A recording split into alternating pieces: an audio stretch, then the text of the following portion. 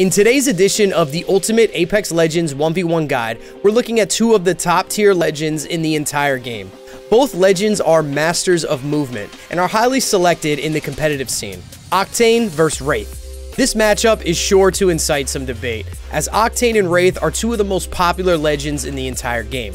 Wraith has been around since the inception of Apex Legends and was instantly a fan favorite. Her versatility, her movement abilities, and her ability to help her teammates as well make her a very well balanced and highly played champion. Octane is quite possibly the most fun legend to play with in all of Apex Legends, as he is in fact the king of speed and movement. Let's start with Wraith. Wraith's passive is very helpful in the Battle Royale game mode, as it provides her audio cues when there's impending danger. This passive is extremely useful in the Battle Royale, however it wouldn't be as strong in a 1v1 situation. Usually in a 1v1, you're pretty much aware of where your enemy is at most times. Wraith's tactical ability is one of the strongest abilities in the entire game.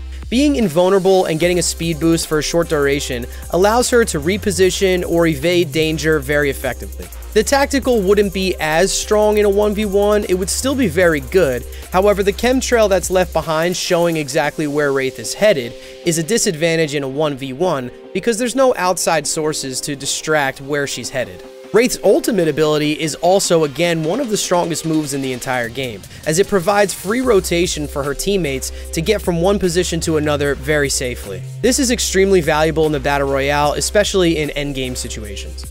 Unfortunately, again, however, the ultimate wouldn't be as strong in a 1v1 because there's no teammates that you need to help reposition. It would still be useful because you do get a speed increase while in the ultimate, and getting both portals down can allow you to play with them and have a little bit of trickery against your opponent. All in all, Wraith is quite possibly the strongest legend in the entire game. Her skill set is extremely useful in the Battle Royale, and would be for the most part very useful in a 1v1 as well. We're going to give Wraith a grade of A in a 1v1 situation.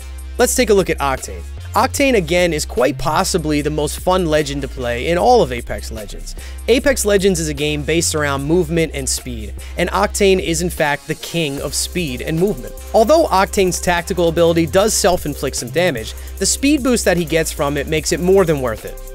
Increasing your speed as much as Octane's tactical does gives him a huge advantage in terms of rotation, repositioning, evading danger, and so much more. Paired with his passive that allows him to heal back up over time after he has not received any damage, gives Octane a huge advantage to be able to evade danger, heal up, and re-engage a fight.